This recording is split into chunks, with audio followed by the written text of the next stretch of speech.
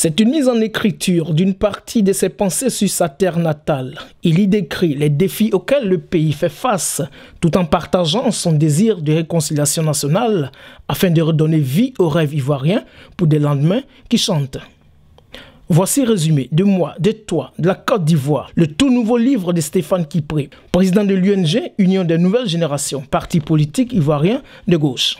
Cette publication a été officiellement présentée le mercredi 10 septembre 2020 sur les Champs-Élysées, à travers un dîner de presse. L'ouvrage a été découpé en sept grandes parties majeures. Trajectoire d'une vie, traversée du désert, souveraineté nationale, démocratie et droits de l'homme, réconciliation, paix et sécurité pour une Côte d'Ivoire prospère et puissante, enjeux globaux et défis ivoiriens, 2020, une année pivot, pour conclure. Politiquement et affectivement proche de l'ancien président ivoirien Laurent Gbagbo, Stéphane Kipré se raconte et parle la Côte d'Ivoire dans son livre à travers un dialogue qu'il a accordé à Marc Arthur Ndiaye, professeur des universités 1 Panthéon-Sorbonne de Paris. En réalité, ce livre, Entretien, est est-ce que mon cœur pense Est-ce que je pense Je peux avoir raison comme ne pas avoir raison. Mais le plus important, c'est de dire ce que je pense. De moi, qu'est-ce que je peux dire? Il est difficile de parler de soi. Je suis Stéphane Kipré. Je suis un Ivoirien.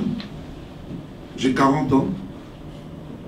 Je suis né d'un père BD de l'ouest de la Côte d'Ivoire, père à son âme, qui vient de Dalois.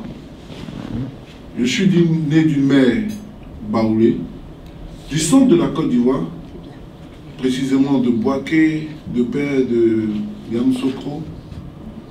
Donc je suis, euh, je suis d'un mélange, mais d'un mélange d'Ivoiriens.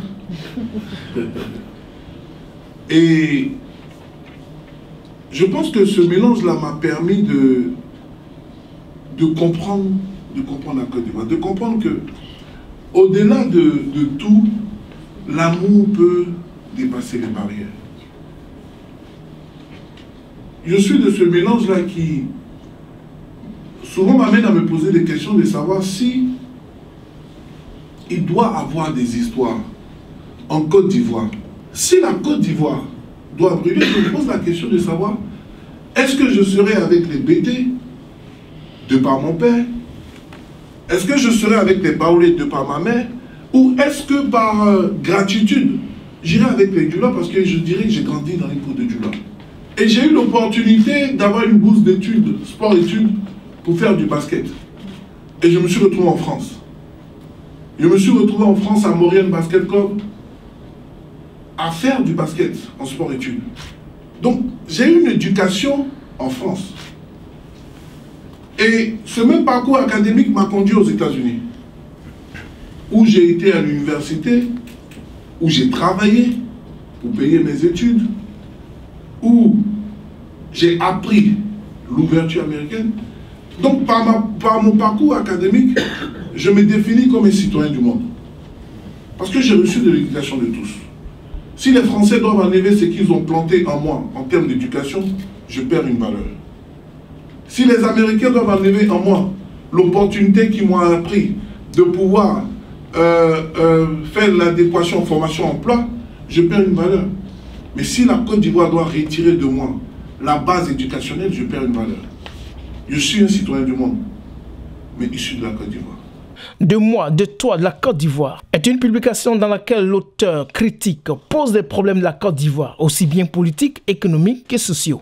Mais également, il fait de pertinentes propositions dans tous les domaines. Je parle de celui qui m'intéresse. Je parle de toi, je parle de l'Ivoirien. L'Ivoirien. Il faut connaître l'Ivoirien. Tu ne peux pas ambitionner, tu ne peux pas avoir une vision pour un pays. Tu ne peux pas parler d'un pays sans connaître ses habitants. Il faut connaître les Ivoiriens. Les Ivoiriens qui rigolent avec tout. Les Ivoiriens qui aiment la fête. Les Ivoiriens qui ont la joie de vivre. Mais il faut comprendre que les Ivoiriens ne sont pas, il n'existe pas un stéréotype d'Ivoirien, il n'existe pas un seul type d'Ivoirien, il existe plusieurs types d'Ivoiriens. L'Ivoirien du Nord n'est pas forcément par sa culture et sa religion comme l'Ivoirien du Sud. L'étudiant d'aujourd'hui n'est pas comme l'étudiant d'hier. Le paysan n'a pas le même problème que le fonctionnaire. Donc, pour pouvoir penser Côte d'Ivoire, pour pouvoir faire une proposition aux Ivoiriens, apprends à connaître les Ivoiriens. Et j'ai appris à connaître les Ivoiriens. J'ai cherché à connaître les Ivoiriens.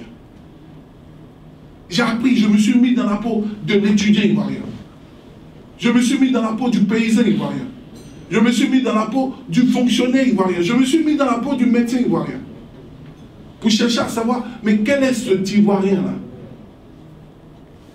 L'exil m'a permis de me mettre dans la peau de l'Ivoirien de la diaspora. L'Ivoirien de la diaspora qui vit dans la diaspora, mais avec ses cultures. J'ai participé à plusieurs fêtes culturelles. J'ai participé à des cérémonies comme si tu étais au fin fond de la Côte d'Ivoire. J'ai compris que l'Ivoirien de la diaspora est attaché à son pays. Beaucoup ne connaissent pas les Ivoiriens. Beaucoup prétendent faire la politique en Côte d'Ivoire sans connaître les Ivoiriens. Voilà pourquoi ils pensent que l'Ivoirien est passif.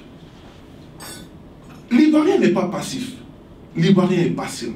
Je ne prétends pas aimer la Côte d'Ivoire plus que tout le monde. Mais la Côte d'Ivoire que je connais, avec ses 322 000 km, la Côte d'Ivoire qui est le premier producteur de cacao, la Côte d'Ivoire qui est le troisième producteur mondial de café, la Côte d'Ivoire avec la noix d'acajou, la Côte d'Ivoire avec euh, l'EVA, la Côte d'Ivoire avec le pétrole, la Côte d'Ivoire avec l'or, le diamant. Mais comment cette Côte d'Ivoire-là n'arrive pas à régler le problème de l'Ivoirien que je connais.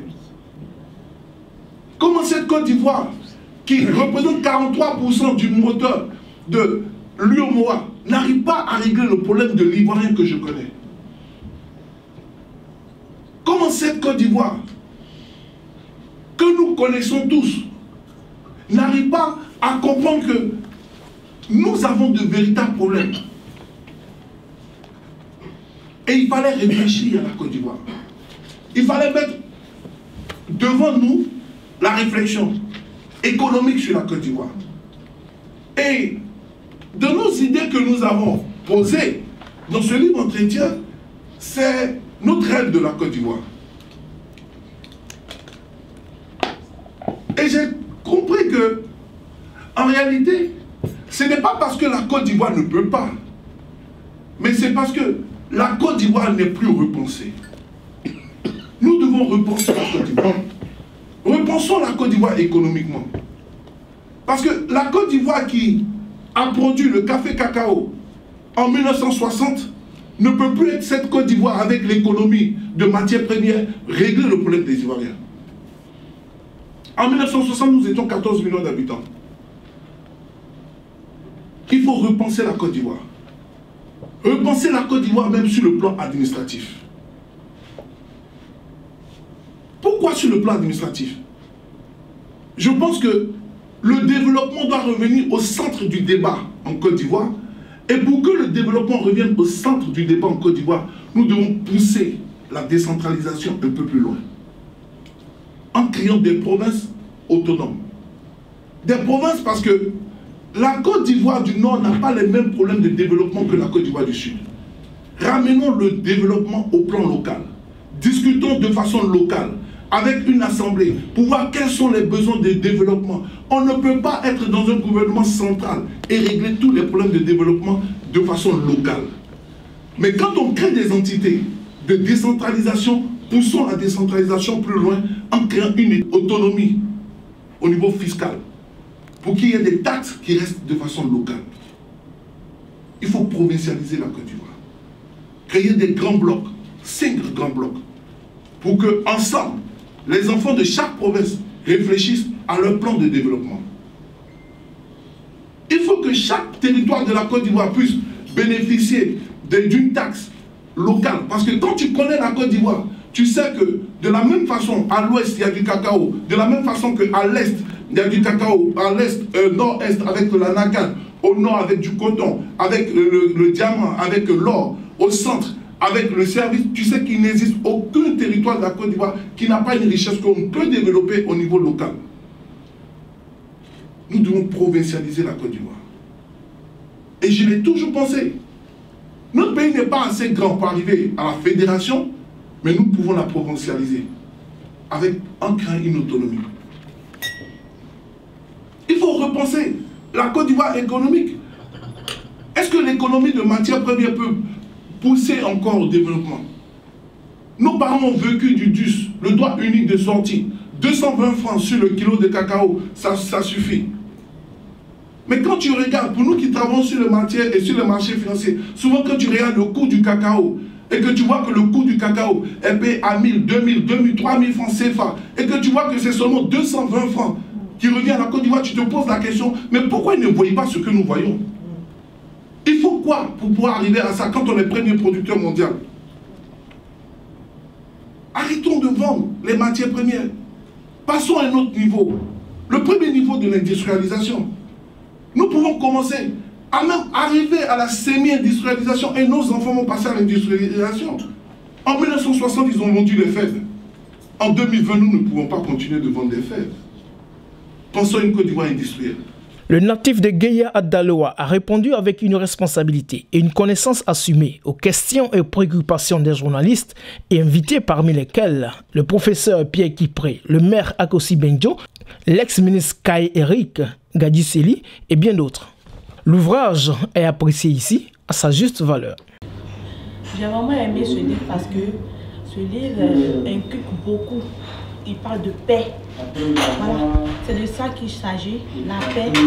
Comme l'a dit le président, c'est dire, lui, il veut la paix, il veut euh, une Côte d'Ivoire unie, une Côte d'Ivoire dont les partisans doivent s'asseoir et discuter, au fait.